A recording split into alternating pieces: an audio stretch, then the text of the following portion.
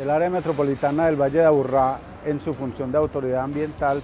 ejerce además de todo el control sobre otros productos de la flora silvestre distintos a la madera, como son el musgo principalmente. La resolución 0213 de 1977, expedida por el Instituto Nacional de Recursos Naturales, Inderena,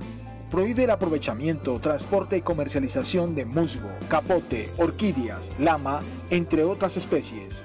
Si en los procesos de control se encuentran estas especies, se procede al decomiso definitivo y luego se adelantará un proceso jurídico según lo establecido en la Ley 1333 de 2009.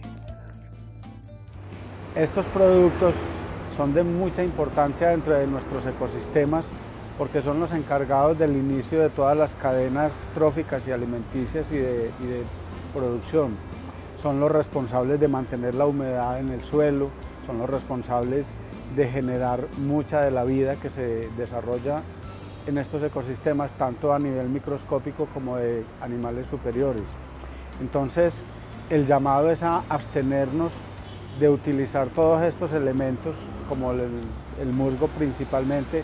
que se utiliza mucho en jardinería y en muchas otras actividades, y en esta época particularmente en la tradición de la elaboración de pesebres.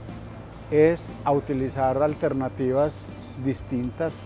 hay muchas cosas, con seguridad que todos somos muy creativos a la hora de hacer un pesebre y podemos utilizar